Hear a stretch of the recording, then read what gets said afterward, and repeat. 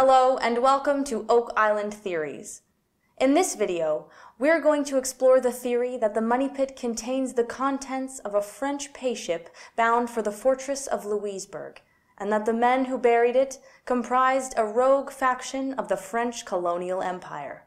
Let's take a look.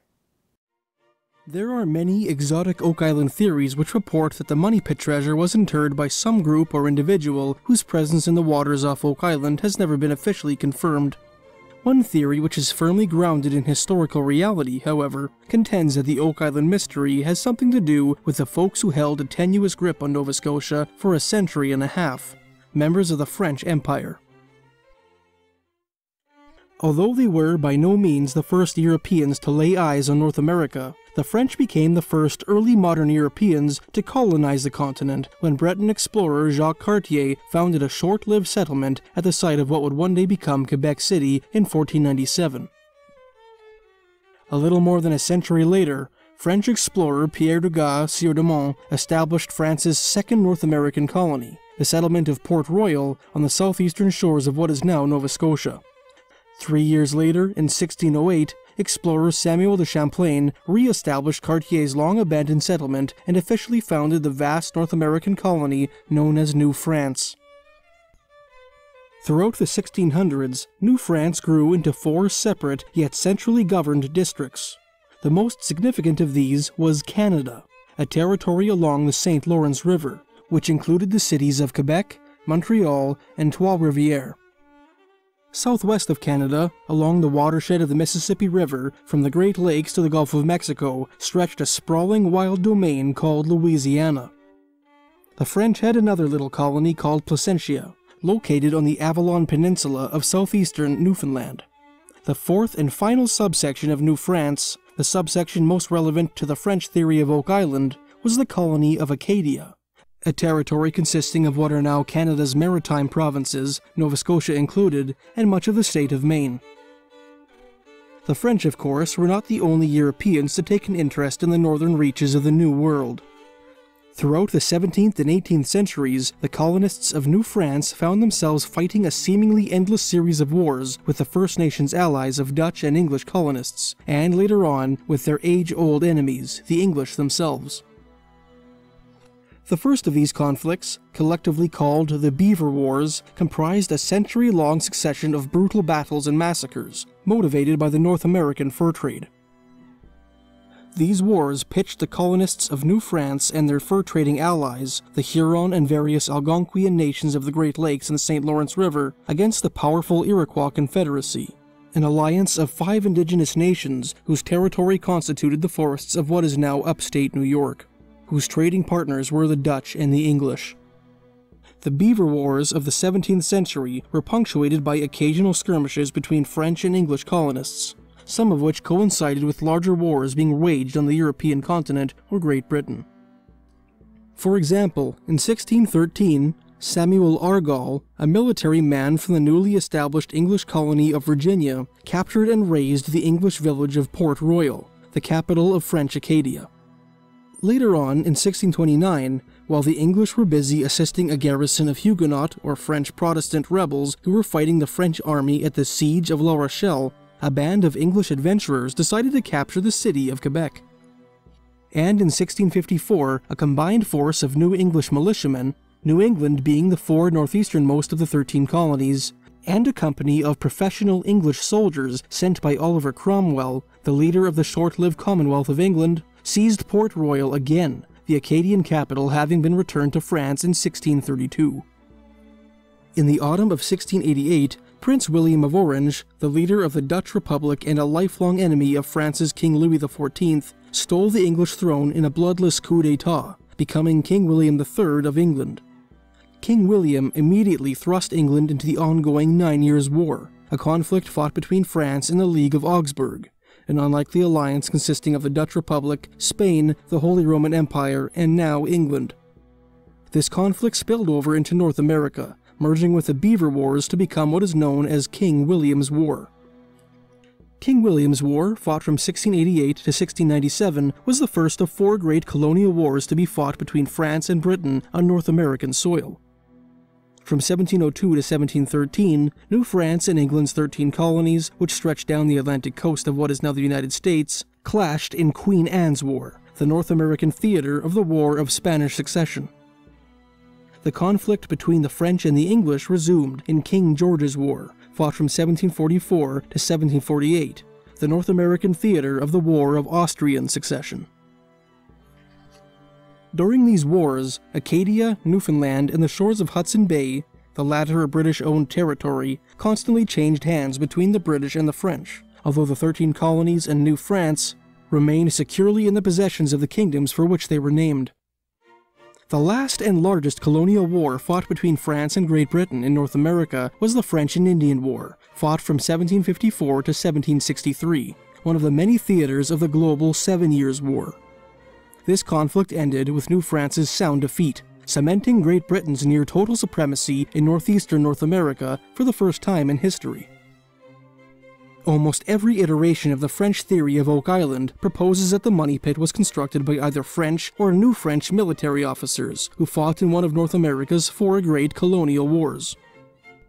One of the most popular of the theories regarding a French connection to the Oak Island mystery contends that the money pit treasure consists of the contents of a pay ship destined for the fortress of Louisbourg, a French stronghold which once stood on the northeastern shore of Nova Scotia's Cape Breton Island.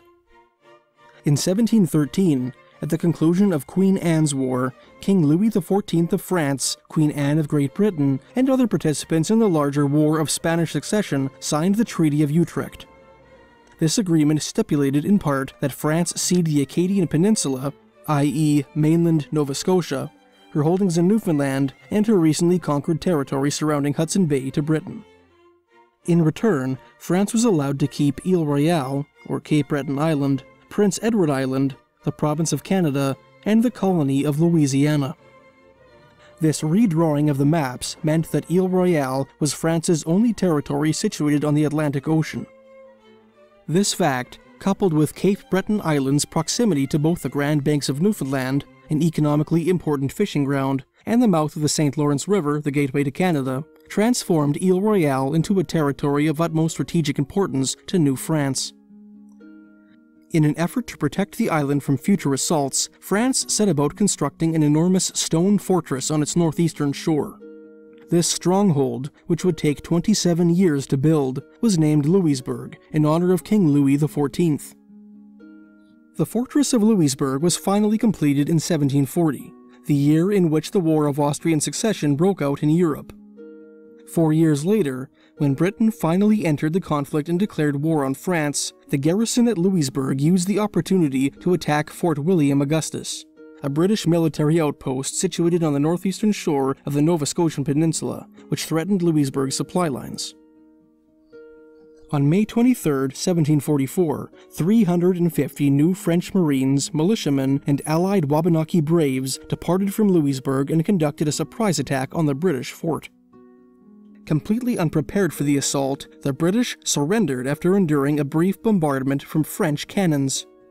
50 English families were subsequently taken captive and brought to Louisbourg. Following the successful raid on Fort William Augustus, the governor of Ile Royale tasked a local French missionary named Jean-Louis de Loutre with raising a war party of Mi'kmaq and Maliseet braves and leading them in an assault on Annapolis Royal, formerly Port Royal, the old Acadian capital. Le Loutre managed to convince 300 members of his native congregation to go on the warpath against the English, and on June 12, 1744, he and his men stormed the fort. Although the attackers managed to kill two of the British defenders in the brief skirmish that ensued, they were driven back on the fourth day of the siege by 70 reinforcements sent from Boston. Two months later, the French decided to launch a second attack on Annapolis Royal. Led by Captain Francois Devier, the officer who had led the attack on Fort William Augustus, 600 French soldiers, Acadian settlers, and native warriors set up camp not far from the British fort. After a failed attempt to coerce the defenders to surrender peacefully, the French began to bombard the fort with musket fire. After a six-day siege, which resulted in a number of British casualties, the French were driven back by an elite unit of British reinforcements newly arrived from New England. In the spring of 1745, the government of Massachusetts decided to strike back at the French by attempting a raid on Louisbourg. supplemented by 500 militiamen from Connecticut and 450 colonists from New Hampshire. 3,250 colonial soldiers from Massachusetts set sail from Boston in early March 1745, bound for the French stronghold. As they approached Ile Royale, the colonial troops found that they were precluded from the waters off Louisbourg by sea ice. After waiting for nearly two months, the ice sheets began to melt and break up, and the New Englanders began their assault. First, they attacked Port Toulouse, present day St. Peter's, Nova Scotia, the French settlement closest to the Nova Scotian peninsula. After a first failed attempt, a 270 man detachment of colonial militiamen and British regulars captured Port Toulouse from its 23 French Marines and an unknown number of Acadian colonists and Mi'kmaq warriors. The New Englanders proceeded up the eastern coast of Ile Royale, destroying the Acadian settlements of Petit-de-Grat, Ile Madame, and Nereshak along the way. On May 11th, they arrived near Louisbourg and managed to disembark despite some resistance from the hugely outnumbered French defenders. That accomplished, they set about systematically destroying a number of outlying fishing villages, during which they engaged in a number of skirmishes with French troops and Mi'kmaq braves. Once the settlements had been destroyed, the last obstacle standing between the English force and the fortress of Louisbourg was the Island Battery, a well-armed stone fortification built on an island fronting the bay in which the fortress was nestled. It took the British six weeks to take the battery, whereupon they finally turned their attention towards Louisbourg itself. The 1745 Siege of Louisbourg was a 47-day exchange of cannon fire. The British eventually managed to haul some artillery up the grassy hills which overlooked Louisbourg, perhaps the fortress's greatest weakness, and began to bombard its walls with impunity. The French defenders had suffered from low morale before the siege even began, as supplies were low and the soldiers' promised pay was many months overdue. Their only hope lay in Paul Marin de la Malgue, a new French general who was expected to relieve the fortress with 500 French soldiers and 700 Mi'kmaq, Malecite, and Huron warriors. Unfortunately for the defenders, Malgue's reinforcements were repelled by the British besiegers at the Naval Battle of Tatamagouche, fought on June 15, 1745. The disheartened defenders managed to hold out for another 13 days before finally surrendering the fortress of Louisbourg to the British. Some Oak Island theorists suspect that the long overdue payment that the defenders of Louisbourg never saw may lie at the bottom of the money pit interred by the well-meaning crew of a treasure ship which had been blown off course during a storm.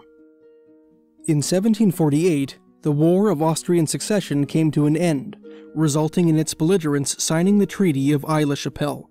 This document stipulated, among other things, that the British return the fortress of Louisbourg to the French. With the loss of this new stronghold, the British decided to build their own fortified town in Nova Scotia, which they named Halifax, in honor of a prominent British earl. The local Acadian settlers and native Mi'kmaq Indians of the Nova Scotian Peninsula, who occupied most of the region outside Halifax and Annapolis Royal, took issue with the location at which the British decided to establish Halifax. In 1749, they began attacking British outposts throughout the province, sparking a six-year conflict called Father Le Loutre's War, named after the French missionary who encouraged the local Acadians and Mi'kmaq to go on the warpath against the British. No sooner had Father Le Loutre's war ended than another conflict erupted on the mainland when British troops attacked French forts built on disputed territory. Known as the French and Indian War, this frontier clash gradually escalated into an enormous global conflict known as the Seven Years' War. England and France once again found themselves squaring off in Europe and their holdings around the world. In 1757, the British attempted to launch an attack on Louisbourg, knowing that they could not gain access to the St. Lawrence River and Quebec beyond with the fortress in French hands. The expedition was thwarted by the French Navy and a terrible Atlantic storm, and the British resolved to make a second attempt the following year. In the summer of 1758, 14,000 red-coated soldiers and 12,000 sailors and marines launched a massive assault on the fortress of Louisbourg. The stronghold's 7,000 defenders put up a vigorous resistance, but were eventually overwhelmed by the superior British firepower. After an 18-day siege, the French surrendered Louisbourg to the British for the last time. The fall of Louisbourg allowed the British to sail up the St. Lawrence River the following year and conduct a three-pronged assault on the city of Quebec. The subsequent British victory in the Battle of the Plains of Abraham was a death blow to New France, which King Louis XV would cede to Great Britain once and for all in the 1763 Treaty of Paris. Some Oak Island theorists believe that, prior to the 1758 siege of Louisbourg, a company of French engineers spirited the Louisbourg treasury over to Oak Island and buried it, loath to allow it to fall into British hands in the event that the fortress was taken. One artifact which suggests an 18th century French military presence on Oak Island is the cap badge found by Gary Drayton and Jack Begley on Oak Island's Lot 21 in Season 6, Episode 5. This badge is decorated with a fleur-de-lis, the stylized lily associated with the French monarchy. Archaeologist Laird Niven, who examined the artifact, opined that it might be a piece of a French grenadier's hat. In 1931, Chapels Limited discovered an axe head in the Chappell shaft at a depth of around 116 feet. Frederick Blair observed that this artifact resembled an Acadian axe that he had seen at the museum at Annapolis Royal. As Acadian settlers were of French extraction and historically demonstrated allegiance to the French crown, this discovery might constitute evidence of the French theory. In Season 5, Episodes 5 and 6, two human bones were discovered in the spoils of Borehole H8. These bones were later determined to belong to two individuals of European and Middle Eastern extraction, respectively. In Season 5, Episode 8, the European bone was carbon dated from 1678 to 1764, while the Middle Eastern bone was carbon dated from 1682 to 1736. Both of these date ranges are consistent with certain iterations of the French theory. In Season 5, Episode 8, we learned that Zena Halpern's mysterious map of Oak Island contained a note in the margins designating the document as a gift to one Monsieur Francois de la Rochefoucauld, ostensibly a member of the noble French family La Rochefoucauld. This discovery appears to implicate French agents in the Oak Island mystery. In Season 5, Episode 10, Gary Drayton and Rick Lagina discovered a small lead cross on Smith's Cove with a square hole punched through its top. Although the show, in subsequent episodes, attempted to draw connections between this artifact and the Knights Templar theory, a recent discovery in New Brunswick suggests that the cross might actually be evidence that the French were behind the Oak Island mystery.